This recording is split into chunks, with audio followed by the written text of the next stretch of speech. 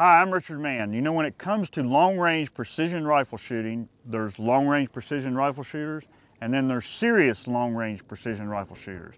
And a big difference is the kit that they have. Well, this is Gunsite instructor Corey Trapp. Corey, you maybe better than anybody could talk about the ideal kit for a serious long-range precision rifle shooter. Well, often during class, uh, the very first day, I will do a gear dump where I will take my, uh, my ruck and basically lay out everything I carry and the reasons for it. So let's take a look at some of the things that you absolutely really need to have. All right, sure. Besides the rucksack to carry everything around, because let's face it, this is an equipment intensive endeavor. Yeah. You're going to need to have a variety of rear sandbags, right? Just one or two isn't enough. I actually carry three or even four uh, in my bag of various sizes right, for support for the rifle.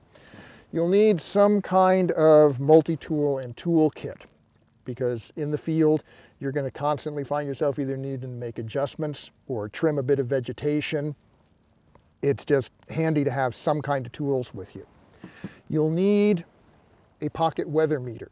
Not so much for measuring the wind itself, but for measuring the conditions that you're shooting under so that you can get the correct dope right. dialed on right. the gun. These days, almost everybody is using some kind of ballistic computer, whether it be incorporated into the weather meter or a separate handheld uh, device. Since handheld computers came out, ballistic computers are, are pretty much the thing. Makes life a lot simpler. You're going to want some kind of pad to protect you from the ground. I carry a very simple roll-up mm -hmm. uh, pad that goes in the ruck so that in damp or snowy conditions, I'm at least protected from the ground. And you can be comfortable. I can be comfortable when I'm shooting. And then you're going to need some observation tools. You're going to need, uh, in this case, a combination laser rangefinder mm -hmm. and mm-hmm. binocular for scanning and ranging targets. Um, you can use separate devices, a small pocket binocular right, and right. a smaller rangefinder, uh, but that's kind of up to you. And then what do you think maybe most uh, long-range precision shooters overlook when they're putting their kit together? The single thing we have the most problem with uh, people is a spotting scope. Um, frankly, a lot of people have a spotting scope right. and it may even be very high quality, but it lacks what we consider a key feature, a reticle. The reticle should match the reticle in your rifle scope so that your spotter can call corrections to you to immediately and precisely. In the same language, essentially. The same language so you can make that follow-up shot. Hey, Corey, those are great tips.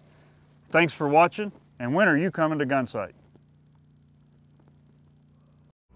Gunsite Academy Originally, the American Pistol Institute was founded by former Marine Jeff Cooper in 1976. It's the oldest civilian firearms training academy in the world, with more than 50 instructors and 26 ranges covering 3,200 acres. Gunsite Academy trains thousands of civilians, law enforcement, and military personnel each year. Often called the Harvard of handguns and the Camelot of the Great Southwest, Gunsite is freedom's backbone.